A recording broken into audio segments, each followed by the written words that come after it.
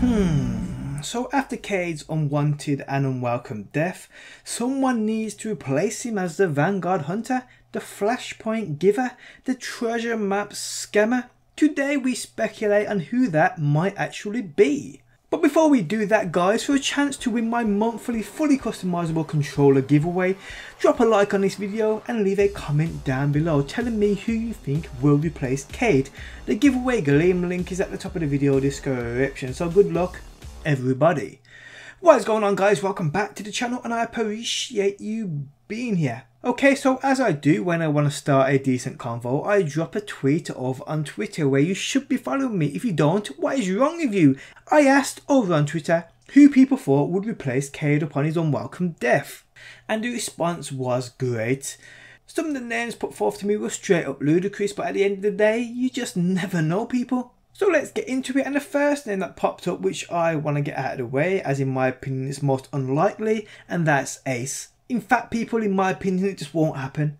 Thing is, so many people think it might. For those who don't know who Ace is, Ace is Cayde's son, a son he had many, many years before I believe he turned exo and lost his entire memory. The only memories of his past he has now are from his diary notes, which do hold some seriously interesting points towards Cayde and his wife, which he also had. He does mention, and you see it within his notes within the game, that his son is dead although no actual proof has come to light. It is stated within his notes as you can see on the screen now. Now many people also speculated that it's Ace carrying Cayde away at the end of the teaser cinematic of Cayde dying. Me personally, I just don't see it happening, but hey you just never know. Ace Cayde's son being the new Hunter Vanguard, although I would like to see how it comes to light story wise. That would be great as there's just so much for us to learn about the two. I just can't see it people. Ace, I believe, will be left in the past, and the Ace of Spades will be all we have come the near future for us to remember Cayde and Ace by. As sad as it sounds, I think that's the truth. But hey guys, I could be wrong. I hope I am wrong, but I just don't see it happening. Okay, so next up, people, which is also a long shot, but it's a name that kept popping up, so I must include her, and that is Eris Morn. Well, firstly, we actually ain't sure where she went. I mean, there are clues as to her whereabouts, where she went, etc., etc., but actual factual in-game information on where she is isn't exactly known. Now, if you ain't sure who Eris Morn is, Eris Morn is a hunter, a member of the Hidden, who serves the Vanguard as their expert on Hive lore. She is the sole survivor of the ill-fated fire team led by herself and Eriana 3 that attempted to assassinate Crota after the Great Disaster. After guiding the Guardian on the path to Crota's destruction, she helped coordinate the fight against Oryx, the Taken King, while maintaining secret alliances with Queen Mara Sov of the Reef and the exiled warlock Osiris. During the Age of Triumph, Eris left the last city to gather more information on future high threats. Destinypedia also states the following according to in-game lore. Her last days within the city were during the Festival of the Lost, like we just seen. Eris was approached by Cayde 6 and told him to leave if he did not have a replacement ship for her.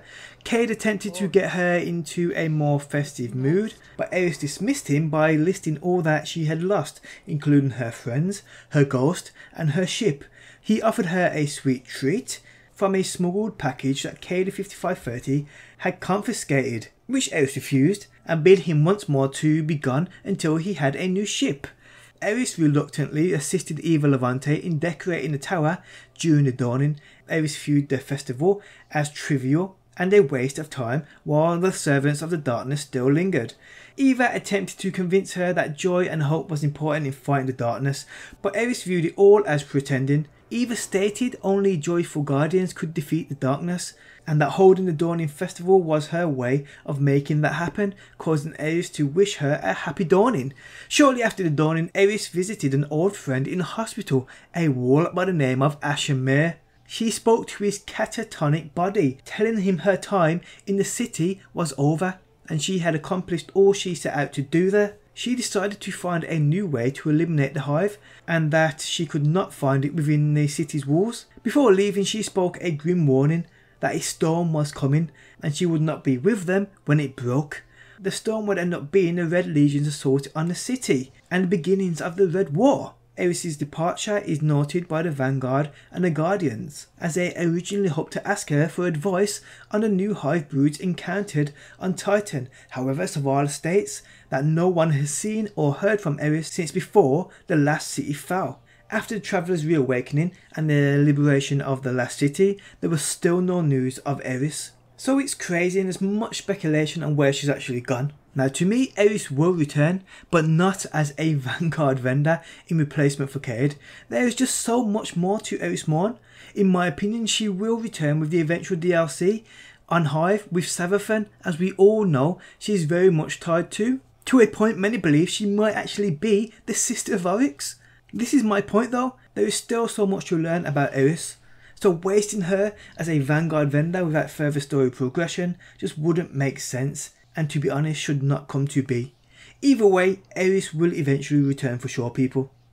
Now another name which kept on popping up was the Exo Stranger, believed now to be Bray, sister of Anna Bray. Also tied very much in with Cayde as we all know how he became an Exo. Many people also speculate that it's the Exo Stranger again carrying Cayde at the end of the cinematic where he was killed. Again though, this for me, as much as I'd love to see Elsie re-entered into the story going forward, as we really don't know much about her, where she's been and what she's been up to, for me there is just much more to her story than to end up being a Vanguard rep. I mean this could come to be, Bungie did state, while Luke Smith stated her story was best left in the past. We got her gun and that was the end of her. We have since learned who she is, the Exo Stranger, and this comes from clues with Anna Bray and much more introduced with the Warmind DLC, so it's clear she has a future we're yet to discover, but in my opinion it's just not quite yet. There will be plenty for us to learn come September with the Forsaken DLC, much lore, much story and much more, but the Exo Stranger won't be a part of that in my opinion. If she does make a return, like Eris with a Hive, she will eventually come with the return of a future Vex DLC. In my opinion, that's how it's going to go down anyway. So moving on, and the name most people believe will be our new Vanguard Hunter representative, and that is Shiro 4. Shiro is one of the Vanguard's most trusted scouts, tasked with eliminating fallen threats on Earth. Most of his time is spent running between Earth, the Moon and Venus, engaging fallen crews. He's free of the pressure of leadership that ties his mentor Cayde 6. He also willingly aids the Vanguard whenever or wherever his skills are required.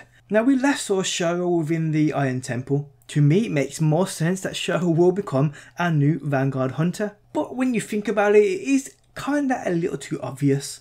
I mean, for all we know, he could be dead. There is more or less no mention of him within the game right now. I know it doesn't mean a damn thing, but you just never know people. But if you truly think about it, he scouts for the Vanguard and has extensive knowledge of the Fallen's House of Kings, which is rumoured to be the house Prince Uldren has under his command. So it kind of makes sense we might see Shiro 4 return with a Forsaken. I mean, if I had to put money on it, Shiro 4 would be where my money is at. But again, it does seem a little too obvious. And do Bungie do obvious? Well, let me know your opinion on that. But Shiro 4, it does kind of make sense. Now other names have come up, some stupid crazy ones, while others still thinking by some miracle Cayde won't die and will return as our vendor. Or he will die, but somehow be resurrected or revived. I mean, Bungie confirmed it's the end for Cayde as we know him. He's dead. But that doesn't mean he won't return. I mean, at the moment it does seem that way, hence the speculation on who will replace him. But what if, what if somehow he does get resurrected or revived? We see somebody carrying Cayde. Could this be out of respect? Could it be a mission to save him? Until the Forsaken drops people, we won't know for sure.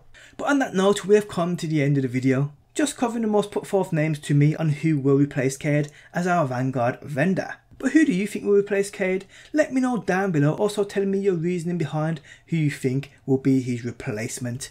I do look forward to reading your comments people. Guys, if you enjoyed the video, leaving a like truly does help me out. If you're new around here and enjoy daily Destiny videos, be sure to subscribe. Thanks as always for stopping by and hopefully people, I will see you on that next one.